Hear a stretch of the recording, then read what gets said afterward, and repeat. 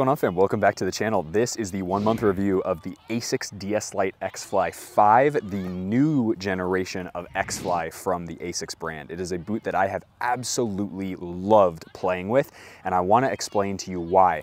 There is one pretty big drawback though, and I'm gonna share that in this video. Let's start off with the sole plate. So this sole plate is slightly different than X-Fly 4. It's got a little bit of more of a grooved look to it. So as you can see, there's some grooves in it. Um, the construction has changed just a little bit, especially with this external heel counter, a little bit more robust than the X-Fly 4 and really does a nice job of giving you a nice amount of rock. So it feels like you're up on your toes a little bit, as well as having some of, in my opinion, opinion, the best studs for both AG and FG. I would truly consider this a multi-purpose stud pattern because of the way that these conical studs also have little grooves in them. So it gives you a lot of pivot power, but also quite a lot of bite when you're trying to do cuts back and forth. So for me, this is a fantastic sole plate. It feels really nice under feet, gives you that little bit of lift so that you feel like you're on your toes, something like uh, a Carbitex insert from the 99 gram leather, those types of sole plates that really kind of push you up on your toes. This feels fantastic, really good amount of snapback as well. And for me, this is an 8.5 out of 10 from the sole plate. The heel area of this football boot is absolutely fantastic. And the reason why is because it's got quite a little, quite a lot of flex to it while also being a little bit lower profile and really nice suede liner. So it kind of gives you all of the things you need to wrap your heel really well and regardless of what shape your Achilles tendon and heel area is, it is a fantastic fit straight out of the box. There is zero break-in time for the heel area. It does an awesome job of wrapping your foot, no slippage because of the way that that suede kind of comes up against any sort of grip or non-grip socks you have. So for me, this heel area is gonna get absolutely top marks. This is a nine out of 10 for heel area. Mega, mega comfort. The upper of this football boot is also really, really awesome. Between the micro SK in the midfoot and heel area and this platinum kangaroo leather in the forefoot with the padding sensation, it is really, really nice. One of the complaints that I had with the 99 gram leather boot is that there's a really big difference between the midfoot heel area and then the kind of bulbous leather forefoot. That is not the case with these football boots. When you put them on, there is a really seamless feel between the leather in the forefoot and the synthetic leather of the midfoot. And so for me, that gives you a really nice sensation on feet. There's no weird grooves that you have to worry about. You don't have to adjust your feet or your shot or your passing or anything like that like you would kind of a little bit in that leather boot. Um, but 99 gram leather boot. But for me, this upper is sensational. It's so soft, it breaks in really well, and it truly is one of the most comfortable football boots for me on the market. So for me, this is gonna get an 8.5 out of 10. Lockdown of this football boot is pretty good. It's not the best, but it's pretty good. For me, it could use maybe a little bit more in this midfoot area, but because of the way this boot is supposed to fit, which is really lightweight, super comfortable, moldable around your foot, all that stuff,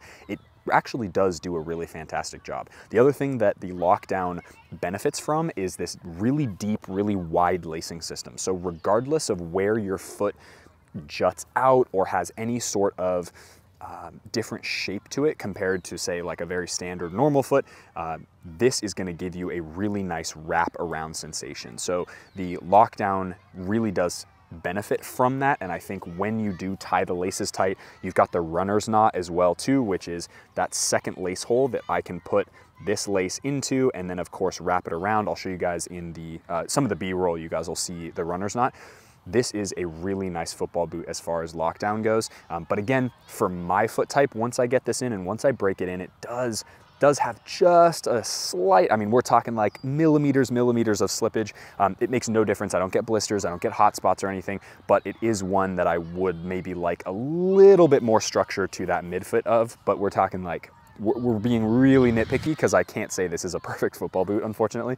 Uh, for me, Lockdown is an 8 out of 10. Break-in time for this football boot is also really good. I go half a size down, uh, for, so I go an 8.5, which means my toe comes right up to the end, so it does fit a little bit a um, little bit snug straight out of the box, but that's no issues because of the way this upper feels, the way it breaks in, how comfortable it is. They actually do break in pretty quickly. I can jump into these in a session, wear them without laces for the first, say, 20 to 30 minutes of a session during warm up, even in a uh, professional setting. So in my professional team for Flower City, I can wear them in the warm up of, of even a team training, lace the laces tight, and then they're almost perfectly broken in right away. So for me, that's super impressive from a football boot that's made of leather.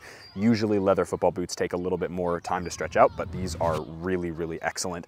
Um, and so for me, these are gonna get an 8.5 out of 10. Durability and build quality of this football boot is the drawback for me. So I love this football boot. I'm gonna continue to buy them. I'm gonna continue to wear them. They are really, really sensational on feet. The issue with AG pitches, they tend to shred leather boots. And as you can see, they're starting to break a little bit. I've only had these like five weeks and they're already starting to rip a little bit. Um, all around the upper uh, it doesn't have any issues. It's just that separation with the sole plate. The leather quality has actually been really good. Uh, the midfoot hasn't had any issues, but again, the some especially when you wear them on AG leather boots, they tend to get shredded pretty quickly. And unfortunately, that's just the case with these ones as well. And I've got to knock it down a couple levels because of that. So for me, the durability and build quality of this is going to get a 6.5 out of 10. Shape and fit, this is going to be a very short category because these are almost perfect or near perfect for my feet.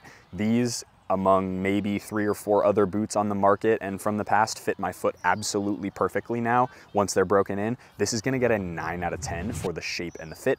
And as I will, uh, I'll say it again, but go half a size down for most people, that'll be great. If you have super, super wide feet, you're probably fine going true to size. Again, we're talking US sizing, but I actually wear an 8.5 US in these as opposed to my normal size 9 US, fit, shape, absolutely perfect in these, 9 out of 10. All right, so from a construction standpoint, these compete with the 99 gram leather or 99 point speed portal leather boot. They compete with the Mizuno Morelia Neo non-beta because they have the traditional U-throat tongue.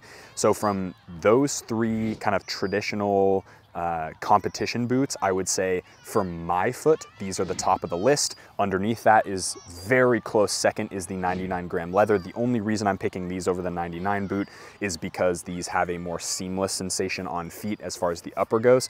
And then right below that is the Mizuno product, which I really like, but they're just a little bit thinner uh, from a sole plate perspective. They got a, a little bit less width to them. And as far as break-in period of time, the the micro SK for me, this synthetic material, the synthetic leather is more comfortable out of the box and after break-in period of time than the Mizuno product. So for me, this is the top of the list as far as kind of those three boots in the in a very similar construction category. All right, performance of this football boot. Performance is very, very good. As I said before, the only complaint that I would have is a little bit of lackluster when it comes to really aggressive, sharp turns, and we're talking like tiny bit. Most people will not notice. They'll buy this football boot, they'll love it. Um, the other knockdown I'm gonna give it is because of the durability and build quality. So from a performance perspective, can you depend on these all the time? Are they gonna rip? Are they gonna not?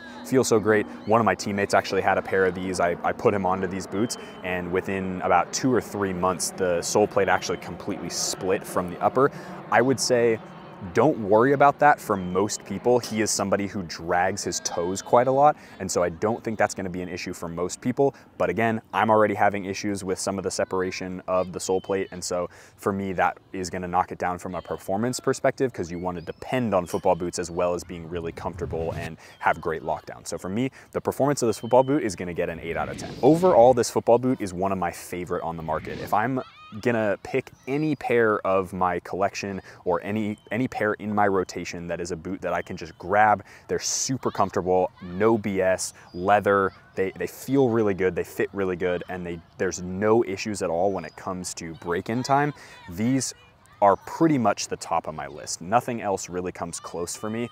Um, the 99 gram leather boot is really fantastic as well, but it is synthetic and so it doesn't feel, uh, or at least the midfoot is really thin synthetic, doesn't give as much of a seamless sensation. And the way that these feel, this is, a, this is an interesting observation when I'm doing a fitness day, when I'm doing sprints on the field, these, because of the little bit of heel lift, like tiny, tiny bit of heel lift, and because of the way these kind of rock and feel so natural on feet, this is the boot that I like to do fitness days in because they feel so natural to run on grass pitches in.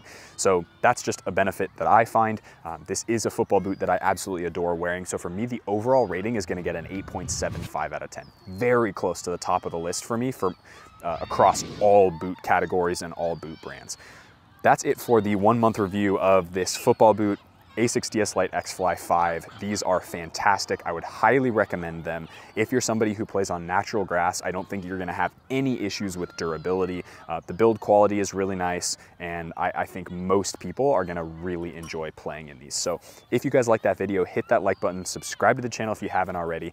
If you guys are interested in in-season lifting programs that are very soccer specific, they're the ones that I do. I have programs on my website we just put up a bundle as well, so you can buy all four phases for once for a discount, which is also awesome. Um, I'll put that link down in the description box below, as well as the link to where I buy these on eBay. So I get all of my ASICs made in Japan, uh, Mizuno, all that stuff from an eBay site. They've been awesome. I'm not sponsored by eBay. I'm not sponsored by the uh, the company that does that either, uh, and they are fantastic, ship really quickly to the US, and uh, I'll put that link down as well. So go check out those programs, go check out the, uh, the link in the description. Uh, as always, be awesome, take care. I'll see you guys in the next video.